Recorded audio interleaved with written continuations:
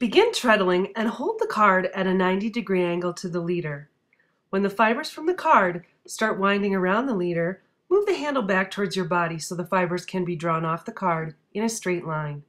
Use your thumb and forefinger on your forward hand to gently twist and untwist the yarn while you draft forward. Release the fiber and while the twist enters, the wheel will draw on the yarn. It is a pinch and release motion. Work back and forth across the card until all of the fibers that were hanging over the edge of the card have been used.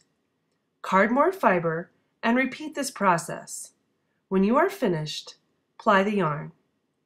Next, I wanted to try a smoother fiber and use Tussah silk. Smooth the tips hanging over the edge of the card together. Join the fiber in the same way you did before. This yarn will require more treadling and less tension. You will create a smoother yarn, smaller in diameter, with more luster. Notice how you use a much smaller massaging motion to gently roll and unroll between your fingers while pinching and releasing. Your hands stay in one position relative to the wheel, the same as the first yarn. Go ahead, give it a try.